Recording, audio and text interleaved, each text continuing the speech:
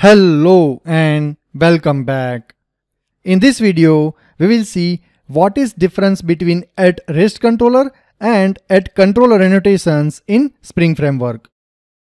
This is more frequently asked question in the interview. So if you are working on the Spring Framework, it can be Spring MVC or Spring Boot, doesn't matter. Okay. And if you are going to face an interview, then make sure you prepare for this question because there are more chances that you will face this question in the interview. So for that, watch the video till the end. So in simple words, at rest controller is basically combination of two different annotations, at controller and at response body. So here we can say that at rest controller equal to at controller plus at response body. This at controller annotation is available from 2.5 version of Spring Framework. And this at rest controller annotation is available from 4.0 version of Spring Framework. So here the question is if we had this annotation right at controller then why at rest controller annotation was introduced by Spring Framework. So to understand this let's jump to Spring Toolsuite or whatever ID you are using. So let's jump to STS. So here I am having one simple controller, okay? That is employee controller and we have request mapping and say two request mappings or REST APIs or just say these URI mappings are there, okay? Let's not say these are the REST APIs, okay? We have these mappings for the URIs and HTTP methods. For instance, I have used at request mapping, okay? I haven't used like post mapping and get mapping annotations. The reason is I want to take you back to the older version of the Spring Framework to understand this difference between at rest controller and at controller. Okay. So for that reason, I have used at request mapping. So what we used to do in the earlier version, okay, before the REST controller, say for example, if you are working on Spring MVC application and say the Spring Framework version is 3.0, just for an example I am saying, okay, then we used to mark our controller class with the at controller. Now, this methods, whatever mappings we have, right? This supposed to return your UI, basically your complete HTML. So what do I mean by complete HTML? So your HTML plus your JavaScript plus your CSS, data, hyperlink, button, whatever you say, okay, that will get included in HTML. So all things from here, it's supposed to return your complete UI, basically your HTML. And that will get rendered on the client side, basically whatever user hit this URI in the browser. Now, while working with that, we might come up a situation where we need couple of REST APIs as well, okay? Say we want to write that REST API within the same controller. So say this is returning complete UI or, or say HTML, okay, whatever you say. Now this is our REST API. Say for example, this we want to have as REST API and this should return JSON. Okay. So what we need to do to make this as REST API, we need to mark this with at response body. Otherwise, this will not act as your REST API. The reason is that if you don't mark, then it's supposed to return your complete HTML.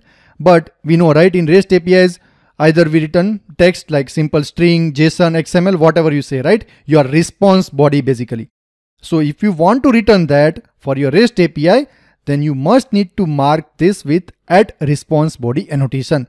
Otherwise, it's supposed to return complete UI, basically your HTML. So at controller plus at response body will make this as REST API. So what will happen? You have couple of URIs with the mapping like supposed to return complete HTML, say for example 10, and you have two or three REST APIs, the combination of both. Okay. So what you need to do on the top at controller and here whatever your REST APIs, you supposed to have at response body. Now this is to be done to say that this method, whatever mapping and all we have right for this, supposed to return complete HTTP response, basically your response body in the format of string, JSON, XML, whatever you say. So this is what it is indicating. So this will come the next question, okay? If you just say that at rest controller equal to at controller plus at response body. Okay, and if you stop over there, the other person who is taking your interview might ask you that what is the purpose of this at response body annotation. So you supposed to have answer for that, okay? That this is required because our REST API is supposed to return complete response body, your response basically, okay? Complete HTTP response. And that's why you need this annotation. And here you don't need it because this is returning complete HTML. So here you need to be ready with the answer that why this at response body is required to develop the REST APIs with at controller. The reason is our REST APIs are directly giving the response body, our HTTP response and not this normal ones, okay? Our model and view, whatever you return from here, okay? For example, here, I'm just returning employee, but this is in the Spring MVC, we should return like model and view or whatever you say, okay? Complete UI. So this is the difference. Now, what Spring Framework did is that, say for example, what we used to do now in Spring Boot, we have complete REST APIs. Now, modern days in our Spring Boot application, we have only REST APIs, okay? And mostly we are returning JSON response. We have different UI team, okay? And front end is different. They have Angular JS, React JS or whatever, right? On front end, they will call your APIs and will get the JSON response. So what you need to do, say for example, inside this employee controller, nowadays if you have 20 APIs, okay, what you will do at controller, on each and every method, you will do like this, okay. So now this will become your REST API. Like this, you need to do for 20, 30, whatever REST APIs you have in your Spring Boot application for each and every controller that you have. Okay, this is one controller. You might be having student controller, department controller, whatever. Okay, according to your application. So this is kind of repetition. Okay. So to avoid this, what Spring Framework did is, okay, let me remove over here. So what Spring Framework did is from 4.0 version onwards, it has introduced a new annotation that is at REST controller. So you don't need to have this annotation on each and every of your REST API. So basically this is combination of at controller and at response body. So you don't need to have at response body annotation explicitly on your REST API. Because nowadays in our Spring Boot application, we have all the REST API. So why to have at response body annotation on each and every? Okay.